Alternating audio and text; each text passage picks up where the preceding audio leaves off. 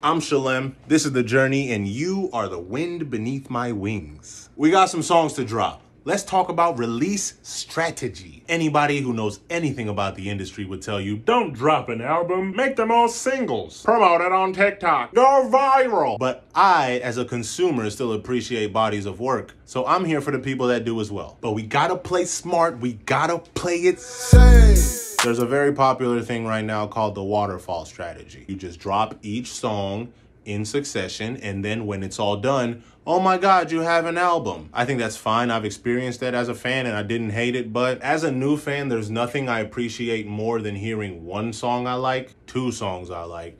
Third song, I want the album that those three songs are on. I propose a compromise. 100% I have to have a listening party or a release show of some sort. We sell physical copies of the album there. Sell the digital album online on Bandcamp or whatever. I got 12 songs, four of which are already out, which leaves eight new ones. Eight consecutive weeks of new songs is not that big of a drag. Alternate option, I have two songs that I feel like only belong in the context of the album. So if we hold those two back, we got six. We can do one song every two weeks for 12 weeks.